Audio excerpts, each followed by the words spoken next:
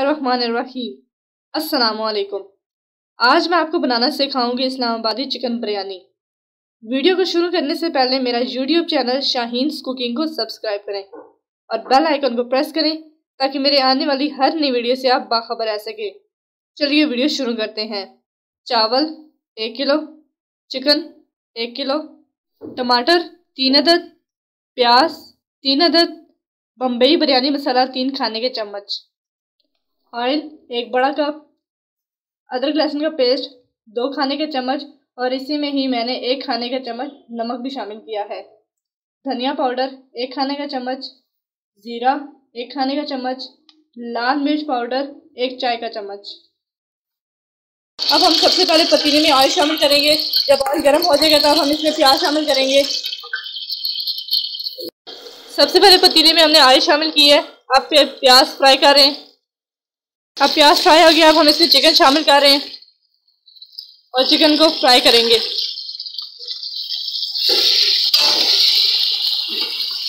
अब chicken fry हो गया, अब हम इसमें अदरक लहसुन का पेस्ट शामिल करेंगे। चिकन को अच्छी तरह फ्राई करें ताकि अब हम इसमें टमाटर शामिल करेंगे। चिकन को अच्छी तरह फ्राई करें, फिर उसके बाद हमने अदरक लहसुन का पेस्ट शामिल किया है। उसे थोड़ी देर हिला के अब हमने टमाटर शामिल किए हैं।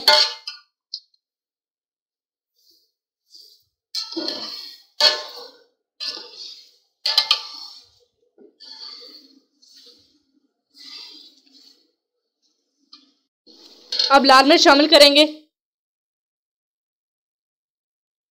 और साथ में धनिया पाउडर। चिकन को अच्छी तरह फ्राई करें ताकि इसमें कच्चा कच्चापन ना रह जाए।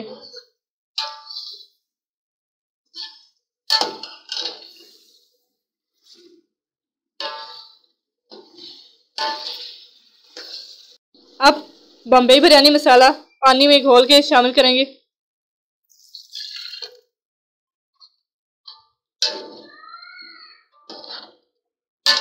अब मसाला भूंजेगा तो बाकी अज्जा बाद में शामिल करेंगे।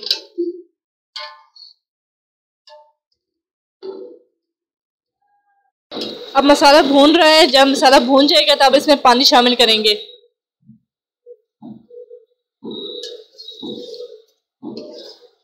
चिकन भून चुका अब एक गिलास पानी डालूँगी।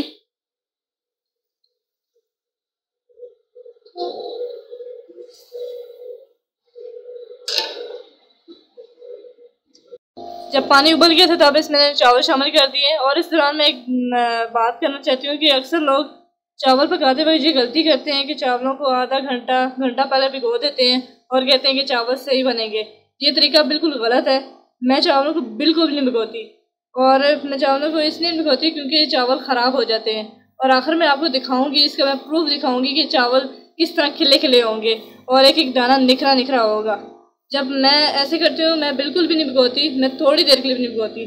जब चावलों को उबाल आ जाए तो मैं चावलों को दो तीन पानी में अच्छी तरह धोकर चावल शामिल कर देती हूँ। क्योंकि चावलों को घंटा, आधा घंटा पहले भिगोने से ये होता है कि चावल उस दौरान अपना सारा पानी खींच लेते हैं और फिर जब चावलों को पकाते वक्त वो टुकड़े टुकड़े हो जाते हैं, या हलवा बन जाते हैं। काफ़ी लोगों की ये शिकायत होगी कि हमारे चावल टुकड़े टुकड़े हो जाते हैं और हलवा बन जाते हैं। वो इसी इसी वजह से बनते हैं क्योंकि आप लोग चावलों को घंटा, आधा घंटा पहले भिगो के रख देते हैं। उस दौरान वो पानी खींच देते हैं। जब पकाने की बारी आती है तो वो फिर हलवा बन जाते हैं। तो ये छोटी छोटी बातें याद रखा करें। चावलों को इतनी देर मत भिगोया करें। जब चावल उबल गए थे तो मैंने इसे छान लिया था।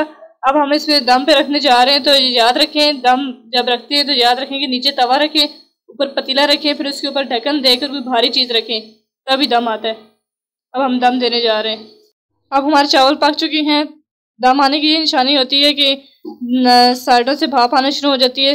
समझ जाएँ कि चावल हमारे पक हैं और आप अंदर से देखेंगे चावल कितने खूबसूरत नज़र आ रहे हैं। और मैंने आपको कहा था कि मैं आपको प्रूफ दूँगी कि मैं, मैंने बिल्कुल नहीं भिगोए चावलों को और आप देखें किस तरह चावल निखरे निखरे हुए हैं। और एक एक दाना अलग अलग है। अब मैं इसे प्लेट में सर्व करूँगी।